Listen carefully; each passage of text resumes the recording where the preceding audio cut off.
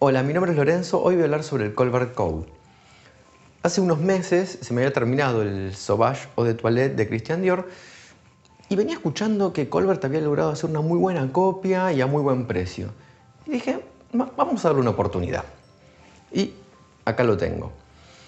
No me gusta hablar sobre cajas, sobre envoltorios, sobre frascos, pero en este caso voy a hacer una mención porque frasco que no se deja ver el contenido, mala idea, no me gusta. Pero bueno, más allá de eso, lo importante es la fragancia. Yo todavía no lo probé, así que esta va a ser mi primera impresión. Vamos a ver si se ganó bien la fama de ser tan parecido al Sauvage de Christian Dior.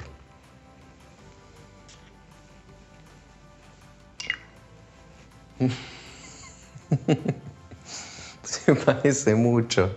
Se parece mucho en serio. Mm. Es más dulce, tiene una salida más fuerte, eh, por lo menos que el de toilette, pero qué rico que es. Qué rico que es. Muy, muy bien. Muy bien. Se parece mucho. Bien. Eh, voy a esperar unas horas para ver cómo va madurando en la piel, cómo proyecta, qué estela tiene, a ver qué tan parecido sigue siendo, si se sigue pareciendo a lo largo de las horas. La salida es de bergamota, que le da frescura, eh, tiene eh, ambroxan, que le da la nota acuática y dulce, pachulí, lavanda y vetiver, que también se lleva siempre con la bergamota de la salida y que le da el toque amaderado. Es limpio, jabonoso, suave, es muy, muy, muy, muy rico.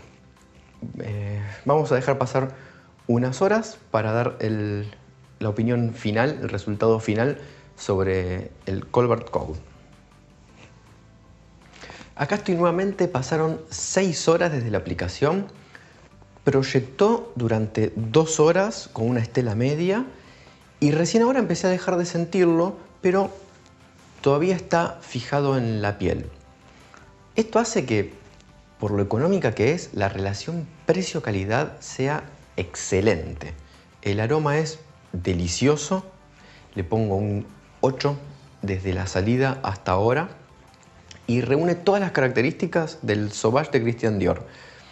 Es hiper versátil para cualquier momento del día, para cualquier clima, para todas las edades, para ir a trabajar, para entrevistas laborales, recomendadísimo para reuniones sociales, con amigos, familiares, citas, paseos. Es agradable, es masculino, transmite iniciativa, seguridad en uno mismo. Verdaderamente es muy, muy rico. Eso sí, hay que tener en cuenta algo que también mencioné en mi video sobre clones de One Million de Paco Rabanne es, una fragancia que está muy masificada. Entonces, tenerla es ir a lo seguro porque gusta muchísimo, pero no es nada original. Ahora sí, la respuesta a la pregunta, ¿se parece o no se parece al Sauvage de Christian Dior? La respuesta es sí. En un 75% se parece al Eau de Toilette pero es más dulce y eh, más jabonoso. Esto lo emparenta en un 85% diría yo al eau de parfum, pero no tiene el toque especiado que tiene el eau de parfum.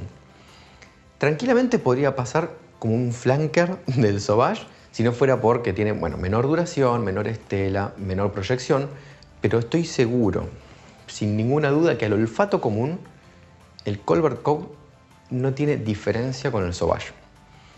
Entonces, conclusión, por el precio, por el aroma, por la proyección y la duración, Colbert Code recomendadísimo.